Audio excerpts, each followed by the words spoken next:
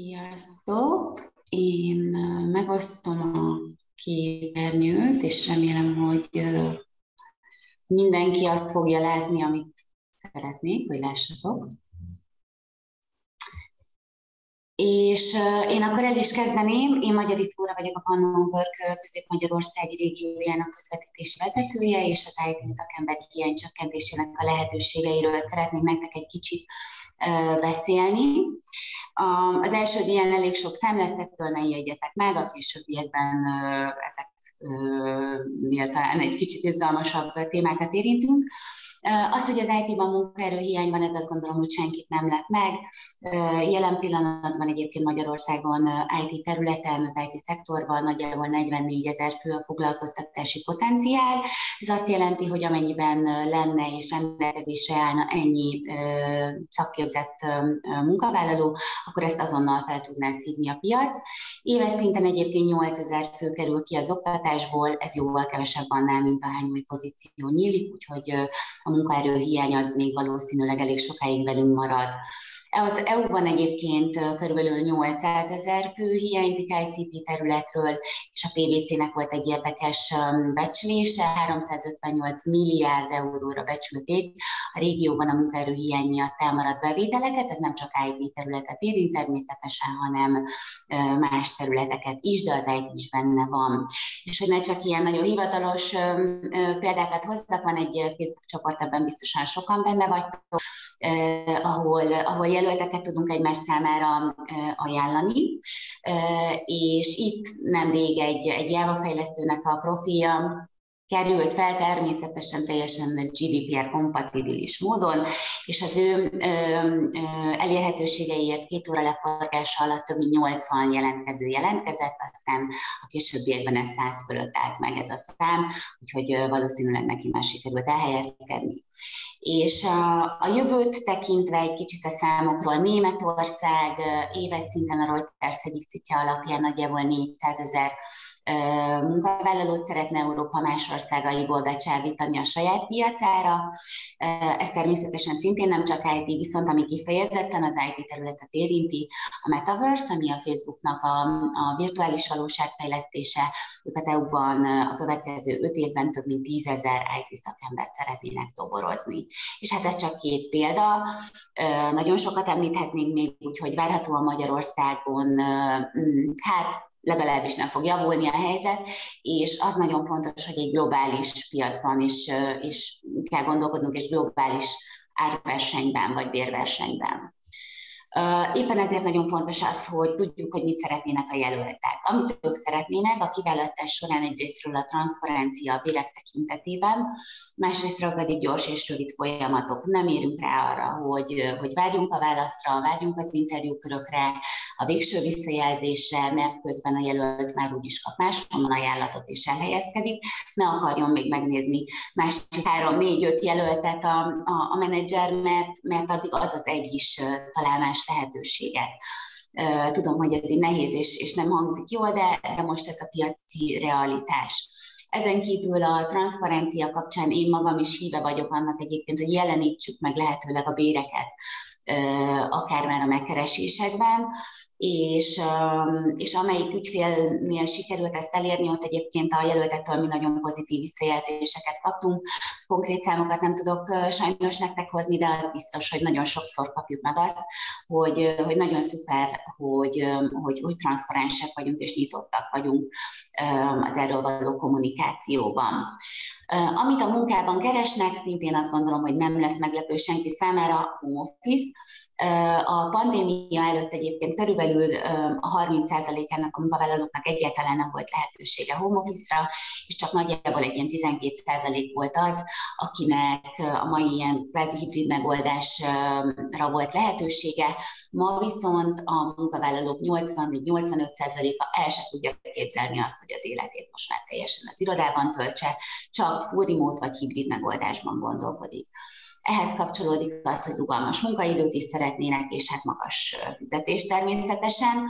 Mi magunk is, a Panoworknél is egyre gyakrabban találkozunk azzal, hogy kifejezetten nyugat-európai munkáltatót keresnek a munkavállalók, mert hogyha már úgyis otthonról dolgoznak, akkor tulajdonképpen nekik teljesen mindegy, hogy ezt egy magyar munkáltatónak teszik meg, vagy akár egy Dán, holland, osztrák munkáltatónak, az viszont nem mindegy, hogy hónap végén milyen fizetést kapnak, és hogy ezt mondjuk euróban kapják el, vagy akár egy, egy amerikai munkáltató esetében dollárban, úgyhogy ismét fontosnak tartom ki hangsúlyozni, hogy globális árversenyben vagyunk a jelöltekért. Mire kíváncsi egy IT szakember egy megkeresés során, mit szeretne tudni? Természetesen azt, hogy melyik cégről van szó, a feladatokat. Ezeket nagyon pontosan. Rengeteg kérdésük van, milyen projekt, milyen csapat, milyen technológiákkal kell dolgozni, milyen projektmetodológiával dolgozik a cég, és ezekre mind-mind választ kell adnunk ahhoz, hogy egyáltalán fel tudjuk kelteni az érdeklődésüket, úgyhogy tényleg nagyon konkrétnak kell lennünk, mennyi a home office, nem az, hogy van-e természetesen, hanem az, hogy mennyi, és hogy mennyi a fizetés. Um, gondolom, hogy sokan találkoztatok vele, néhány hónappal ezelőtt volt egy Reddit poszt, egy fejvadász, egy IT fejvadász érdeklődött ugyanerről a kérdésről, mit szeretne látni egy IT szakember egy megkeresésben, és hát nagyjából ugyanazokat írták le neki, amiket mi is így összeírtunk meg, tehát mit kell csinálni, hol, mennyiért, milyen home office szabályok mellett. Egyébként nagyjából 400, hát szalonképes és kevésbé szalonképes komment született erre, és azt is leírták egyébként, hogy mi az, ami nem érdekli őket, Állítólag az, hogy versenyképes fizetés, családias légkör, van-e sörcsap az irodában, milyen csapatépítő programok vannak, kutyabaráta a munkahely, fiatalos a légkör, ezek, ezek nem mozgatják őket. Úgyhogy hát ha már ezt szerint próbáljuk megtenni a megkereséseket, és ezeket írjuk bele, akkor talán növelni tudjuk azoknak a számát, akik érdeklődő visszajelzést adnak a, a, a megkeresésünkre, viszont a tömeges hiányt a munkerőpiacon ez sem fogja megoldani. A piacot pedig rövid távon nem tudjuk megváltoztatni. Amint tudunk változtatni, az, az a saját megközelítésünk, és hogy hogyan próbáljuk megkeresni a jelölteket, milyen módszerrel. Erre hoztunk nektek egy lehetséges példát, a skill-based hiring-et, ennek a lényege nagyon egyszerűen összefoglalható, hogy nem a végzettség számít, és nem a tapasztalati évek száma számít, hanem a készségek, itt hard és soft skill-ekre egyaránt gondolunk, ugyanakkor szerintem itt azért elég sokan tudjuk azt, hogy, hogy vannak olyan partnerek, akik, akik a mai napig nem engednek abból, hogy a, a nem tudom, az öt év az öt év legyen, és nem négy vagy négy és fél Viszont vannak olyanok, akik, olyan cégek, akik már elég régen váltottak szemléletet, ha úgy tetszik. Ott van például a Google. Ők egyébként ismertek voltak arról, hogy tényleg csak a top főiskoláknak a top performereivel álltak szóba korábban, és állítólag, mert ez lett a városi legenda, de hogy elítólag még azt is megkérdezték egy interjú során, hogy egy bizonyos tantárból valakinek valamelyik iskolai évben miért volt rosszabb jegye. Viszont 2013-ban volt egy, egy felmérési szervezeti felmérés náluk, ami azt találta, hogy, hogy nem ez, tehát nem az iskolai végzettség, és nem annak a szintje és annak az eredményei határozzák meg, és, és nem azok az indikátorai a teljesítménynek és a beválásnak, Úgyhogy, úgyhogy ők is szemléletet váltottak, ma egyébként már a, a munkavállalói 14%-ának egyáltalán nincs is diplomája. Alapvetően ennek a megközelítésnek a, a pozitívumai közé tartozik, hogy egy nagyobb candidate pool válik elérhetőbbé, ezáltal a kiválasztási idő lerövidül, és a kiválasztás költségei is mindenképpen csökkennek, egy jobb kompetencia felmérést tesz lehetővé, ugyanis mindenképpen eszközelnek a megközelítésnek a tesztelés, a hard és a soft skill tesztelése, illetve épp a tesztelés következtében magasabb a beválás és a munkával való elégedettség, hiszen nem azért kerül valaki egy bizonyos pozícióba, mert valamennyi munkatapasztalata van évek tekintetében, vagy valamilyen területen kapta meg a diplomáját, hanem a jól felmért készségei alapján, az alapján pedig magasabban az esélye annak, hogy, hogy tényleg kiváló teljesítményt tud nyújtani a területén, és hát a nap végén mind a munkáltató, mind a munkaadó maximálisan elégedett lesz. Diverse munkacsoportok jönnek létre, ami mindenképpen a céges kultúrára van jó hatással, viszont ami a nagy nehézsége, hogy egy fókuszváltást, vagy ha úgy tetszik, mindsetváltást mindenképpen igényel a dolog, a gondolkodásban kell változást elérni, és én azt gondolom, hogy nekünk, mint a HR szakma képviselőinek mindenképpen fontos feladatunk az, hogy, hogy ennek a, a, a változásnak vagy változtatásnak katalizátorai legyünk, és ebben támogassuk belső HR-esként a, a menedzsereinket, külső agency partnerként pedig a, a, a partnereinket, ügyfeleinket hogy milyen eszközei vannak ennek. Egyrésztről a pozíciókhoz szükséges hard és soft skill azonosítása az az, ami az első dolog, a must have és a nice to have kompetenciákat kell felmérni. Volt nekünk egyszer egy ügyfelünk, ő azt mondta, hogy nem minden lámpába kell százas izzó. Ezzel tulajdonképpen valami olyasmire utalt, hogy nem kell mindenkinek kiváló kommunikációs készséggel rendelkezni, nem szükséges mindenkinek nagyon meggyőzőnek lenni, és még technológiai pozíciók esetében sem fontos az minden egyes munkavállalónál, hogy nagyon elmélyült szakmai technológiai tudása legyen. Azokra kell koncentrálni, azokra a készségekre és kompetenciákra, amik az adott pozícióhoz ténylegesen fontosak. A kiválasztás során teszteket lehet alkalmazni, szakmai tesztek esetében a Hackering teszteket szokták egyébként legtöbbször, személyiségtesztekből pedig rengeteg elérhető van. És az interjú folyamatok esetében pedig a legtöbb esetben ilyen viselkedés alapú interjúkat szoktak lefolytatni, és akár olyan mértékig standardizált interjúkat, hogy minden egyes jelöltnek pontosan ugyanazokat a kérdéseket teszik fel az interjú során. A már meglevő jelöltek esetében pedig, ami fontos lehet, az upskilling, a reskilling, illetve a, a cross-skilling.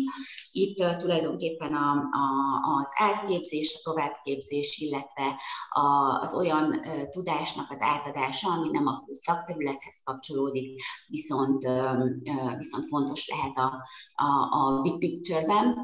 Úgyhogy ez mindenképpen um, a, a maga a képzés az csökkenti a munkaerő felvét, felvételnek a költségeit, hiszen um, egyrészt a belső mobilitást is támogatja, nem új kollégát kell felvenni, hanem a meglevő kollégáknak, ha új kihívásra vágynak, tudunk um, lehetőséget biztosítani arra, hogy, hogy a vállalaton belül találjanak maguknak új lehetőséget.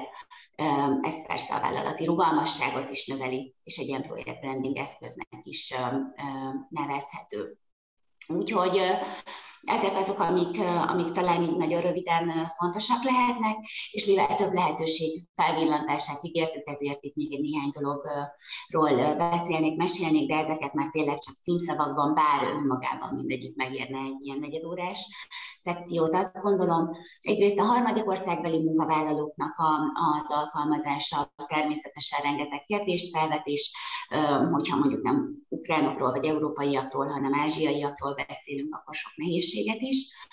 Alapvetően azt gondolom, hogy a nők számának és, és, és részvételének a területen a növelése ez szintén egy fontos kérdés lehet. Itt Magyarországon egyébként ezzel nem állunk túl jól, még világ vagy európai viszonylatban sem, és egyébként ezt már az oktatásnál, vagy akár a nevelésnél érdemes lehet elkezdeni.